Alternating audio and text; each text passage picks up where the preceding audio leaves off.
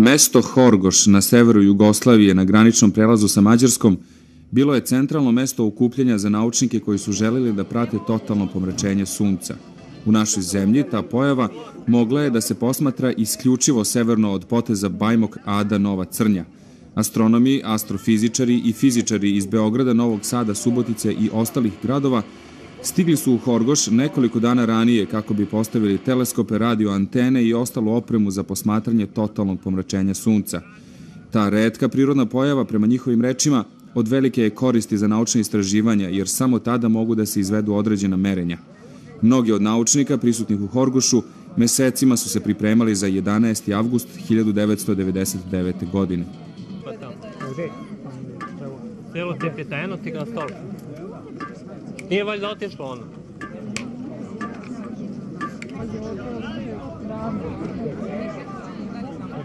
Preskoči 9, 8, ne znam, ne znam. 7, 6, 5, 4, 3, 2, 1. Pored astronoma, u Horgošu su se našli i oni koji su došli da posmatraju estetsku stranu celog događaja, koji se po pravilu viđa samo jednom u životu. Najviše posmatrača došlo je iz samog mesta i okoline.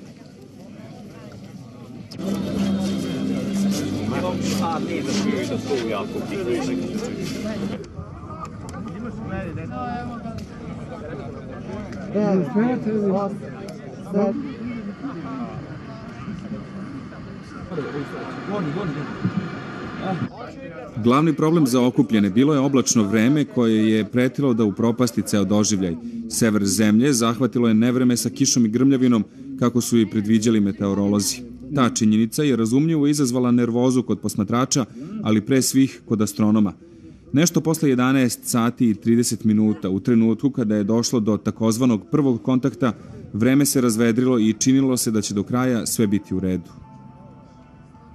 Ceo program na stadionu lokalnog futbalskog kluba u Horgošu preko razglasa je komentarisao dr. Ištvan Vince. Kako nam je rečeno, dr. Vince je jedan od najvećih autoriteta u našoj zemlji kada je astronomija u pitanyu. napunkat üdvözölni, hogy újra megjelent az égen. Hát, a világ vége se következett be. Tehát fél háromkor van itt. Ja. Evo, ja ću malo da komentarišem posle. Po...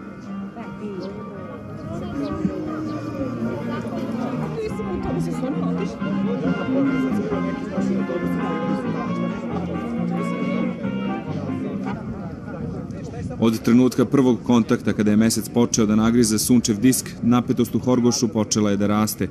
Pogledi prisutnih bili su uprti kako u sunce, tako i u oblake koji su opet počeli da se nagomilavaju. Ubrzo zatim pojavili su se prvi efekti pomračenja. Sunčeva svetlost postala je vidno slabija jedan sat pre faze totalnog pomračenja.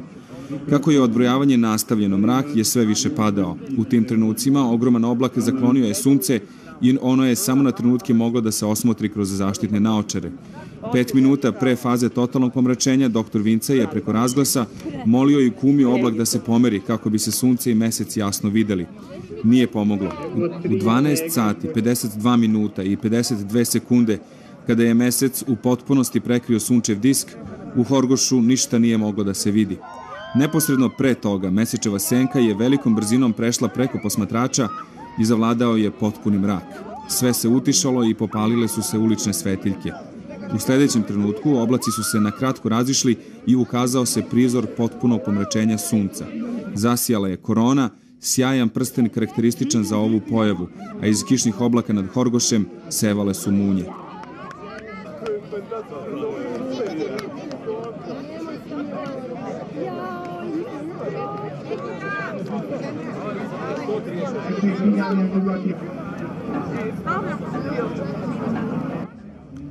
Oblaci ipak nisu bili naklonjeni posmatračima i ubrzo su ponovo prekrili nebo. Tokom faze totalnog pomračenja, koja je trajala oko minut i 50 sekundi u Horgošu, sjajan prizor na nebu ukazao se nekoliko puta. Prema rečima doktora Vincea, zbog oblaka, posmatrači u Horgošu nisu mogli da ugledaju dijamantski prsten, najlepši efekat koji se javlja usled pomračenja. U trenutku kada je prestala faza totaliteta, kraj mesečeve senke ponovo je velikom brzinom prešao preko celog kraja i postajalo je sve svetlije.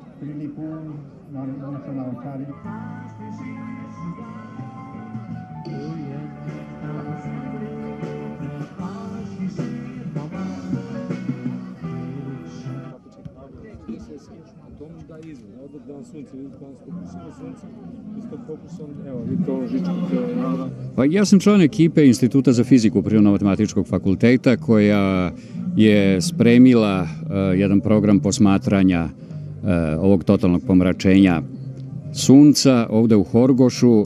Članovi ekipe su dr. Stevica Đurović i dr. Svetislav Krstić. Uh, Svetislav Krstić je istina iz jedne druge institucije, iz naftne industrije Srbije, gde je direktor razvoja, ali on potpomaže potpuno ravnopravno ovom u ovom poslu, a ja sam Božidar Vujičić, profesor na Prirodno-matematičkom fakultetu. Da li su vaše, da li su vaše višemesečne pripreme urodile plodom? Nažalost ne.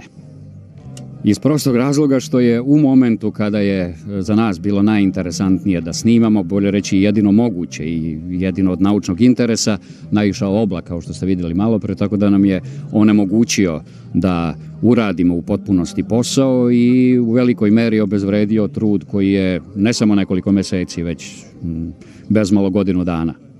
Znači samo moramo da čekamo koliko, stotinak i nešto godina, jel? A moramo da čekamo 136 godina i mi se već pripremamo. Dobro, morate priznati da je, pri, da je prizor ipak bio uh, fascinantan. Pa, znate šta, ovo su uh, redke prirodne pojave, E, prizor jeste fascinantan i velika je šteta što nismo sve one naj, e, e, rekao bih, značajnije i najlepše faze pomračenja mogli ovde da vidimo, iako smo uspeli da vidimo koronu, ali recimo izostao je onaj dijamantski prsten koji je jedan zaista fascinantna jedna slika. E, međutim, ta atmosfera kada se ipak smrači, kada postaje hladnije, kada e, osetite da se ljudi utišaju, E, da se sva priroda oko vas na neki način promeni i jeste nešto što je uzbuđujuće i što u svakom slučaju vam čini nekakvu satisfakciju u celoj ovoj našoj muci gde smo glavni deo našeg posla nažalost propustili.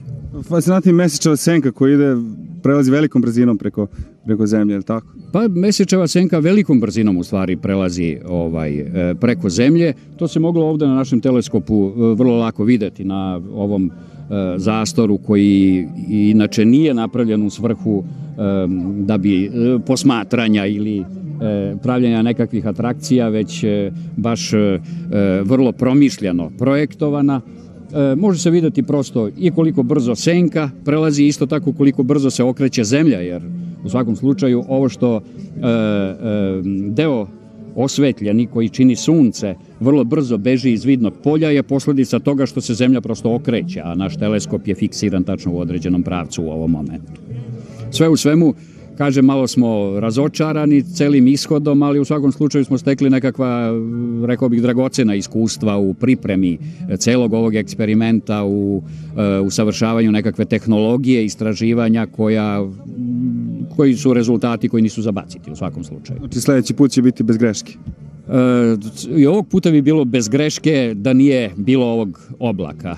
Razgovaramo sa doktorom Miloradom Kurajicom, direktorom Centra za fiziku i tehnologiju plazme. Jeste. Dobro sam upamtio. Ovo je bio vaš šov na neki način. Pa, može se reći tako. Uglavnom, u stvari, to je bio, bolje rečeno, test jedne nove mlade ekipe. Znači, najvažniji zadatak je bio da se pokušamo ogledati i u ovoj oblasti, što je za nas nova.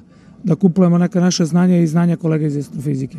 Da li je vreme pokvarilo planove? Jeste, mnogo smo se trudili, trudili smo se praktično jedno četiri dana uh, u trajanju otprilike 12 sati dnevno da pripremimo sve da bismo radili jedno vrhunsko merenje prvi put na ovim terenima, verovatno inače u ovoj oblasti, verovatno prvi put merenje ovog tipa, ali nažalost vreme nam je pokvarno, pa smo pokušali da paralelno uradimo još neke stvari u toku ovog oblačnosti koja je naišla.